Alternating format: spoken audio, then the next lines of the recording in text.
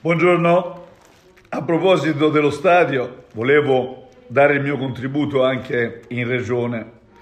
Tante volte non fosse chiaro il progetto stadio, diciamo, clinica, dato che ormai sono già passati un po' di tempo da quando l'abbiamo presentato, tutti i miei consulenti sono a completa disposizione della regione per spiegare in maniera dettagliata leggi, leggettine, perché e per come. Eh, non mi prendete per cattivo, va bene?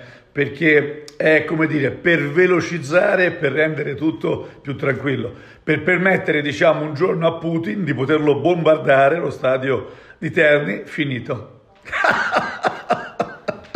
Vabbè, è chiaro quello che io penso di Putin. Arrivederci a tutti.